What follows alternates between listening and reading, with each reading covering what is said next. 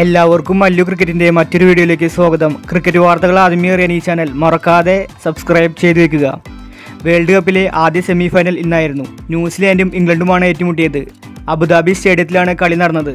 Toss ലഭിച്ച New Zealand captain K Williamson ബൗളിംഗാണ് തിരഞ്ഞെടുത്തത്.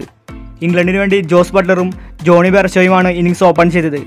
മികച്ച തുടക്കം തന്നെയായിരുന്നു ഇംഗ്ലണ്ടിന് ലഭിച്ചത്. വളരെ ശ്രദ്ധയോടെയാണ് ഇംഗ്ലണ്ട് ഓപ്പണർ കളിച്ചത്. ട്രെൻഡ് ബോൾഡിനെ വയർ നിറച്ച് കിട്ടി. ന്യൂസിലൻഡ് നിരയിൽ ഇന്ന് ഏറ്റവും കൂടുതൽ അടി കിട്ടിയത് ബോൾട്ടിനായിരുന്നു. നാല് ഓവറിൽ നാൽപ്പത് റൺസാണ് ബോൾട്ട് വിട്ടുകൊടുത്തത്.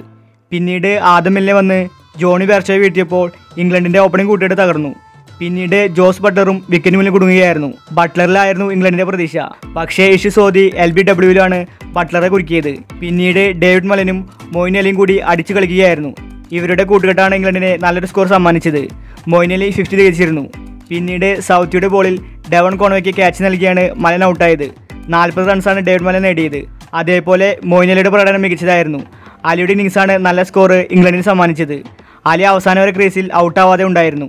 അങ്ങനെ നിശ്ചിത ഇരുപത് ഓവറിൽ നാല് വിക്കറ്റ് നഷ്ടത്തിൽ നൂറ്റി അറുപത്താറ് റൺസാണ് ഇംഗ്ലണ്ട് നേടിയത്. അത്യാവശ്യം മികച്ചൊരു ടോട്ടൽ തന്നെയായിരുന്നു ഇത്.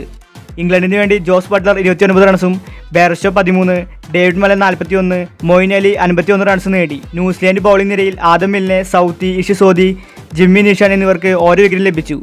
ബോൾട്ടിന് വിക്കറ്റൊന്നും ലഭിച്ചില്ല. അങ്ങനെ ഇംഗ്ലണ്ട് ഉയർത്തിയ നൂറ്റി അറുപത്തിയേഴ് റൺസിന്റെ വിജയലക്ഷ്യത്തിലേക്ക് ബാറ്റ് വീശിയ ന്യൂസിലാൻഡിനെ തുടക്കം തന്നെ പിഴയ്ക്കുന്ന കാഴ്ചയാണ് നമ്മൾ കണ്ടത്. ആദ്യ ഓവർ തന്നെ അവരുടെ ഓപ്പണർ ഗുപ്റ്റിലിനെ നഷ്ടപ്പെട്ടു.